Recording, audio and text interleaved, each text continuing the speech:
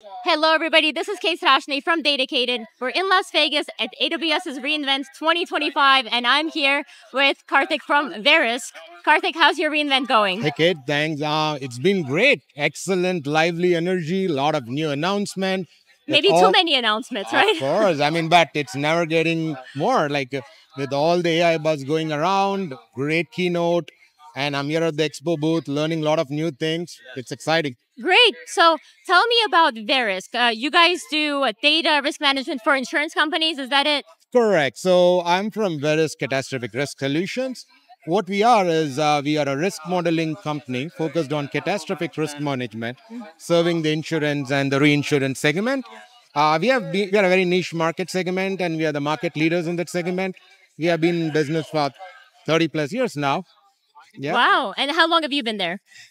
Long time. I've been there for 16 years. I love it. I love my company. Wow, 16 Great place years to is work. a long time. You right? must really love it. I yes, love that. yes. Great. And so what's your role there? Um, I lead the platform engineering group and head of architecture within uh, catastrophic risk solutions. And currently we are working on a large platform from uh, for a new generation of SaaS solution, mm. leveraging all cool AWS services. Okay, well, that's what I want to talk to you about. Okay, we're we're at reInvent, right? We have to talk about AWS. So, what are some of the services and products that you're using to solve your data problems? Sure. I mean, we have been a AWS customer for a long time, yeah. and over time, we have evaluated a lot of different solutions with the right set of data points. Some of the core products that we use are AWS Redshift, mm-hmm. uh, QuickSight, EC2. Um, yeah.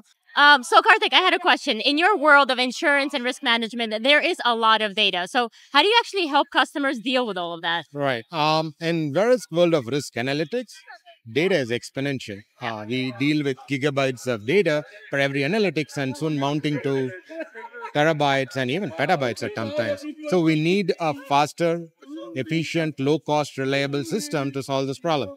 So we use Amazon's S3 for storage, and we use Apache Iceberg for the data, open data format, and we use Redshift to process those data. Okay, great. So, Karthik, every customer I talk to, they want their systems and processes to move faster and faster.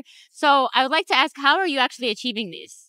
Right. In our case specifically, uh, we are sometimes dealing with gigabytes, terabytes, and petabytes of data. Uh, for our largest customers, one of the ways we solve this is by relying on a fast, scalable data storage, which is S3 and Iceberg, as I mentioned earlier. And we're using the compute and analytical power of Redshift. We're using Redshift as an analytical processing engine here to aggregate and visualize this data for the customers. We are seeing like performances of 10 to 15x in some cases and it's all dependent on use cases and uh, i'm sure our customers are going to be really happy about it. Yes of course that's what we want happy customers. I'm yeah. sure that's what you want that's what aws wants that's what everybody wants. Right. Um, my final question for you is if there are people in my audience who want to replicate your success what advice do you have for them for getting started? Right uh, in my specific case the challenge has been the data storage and the compute was on the single machine and of course, with the evolution of MPP, we went from SMP to massively parallel processing system where the compute and storage were still connected in a way. Uh, with Redshift and Apache Iceberg, we are able to separate the storage and the compute. Mm. Thereby, we are able to take the benefits of having a storage system that's independent and it evolves over time and we can use it with other services. It helps my customer get to the data faster.